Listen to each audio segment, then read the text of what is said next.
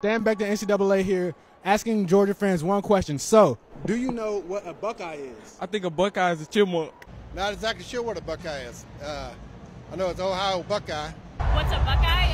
It's a type of nut. It's a nut, right? It's a tree, isn't it? No, have no idea what a Buckeye is. My version is is a copy of a Reese's, except reverse. The buckeye is a part of a tree. Like Ohio State Buckeyes. It's like a, uh, is a, a corn or some type of uh, nut or something like that? Yes. Explain to a Georgia fan what a Buckeye is. It's it's the fruit of our state tree in Ohio. It's God's gift. You know, we just we just pass the Buckeye on to somebody that wants to have a, a good luck charm in their pocket, and it's from the good Lord. It, like I say, it's it's the fruit of our state tree in Ohio. And you know what? There is no such thing as a worthless nut.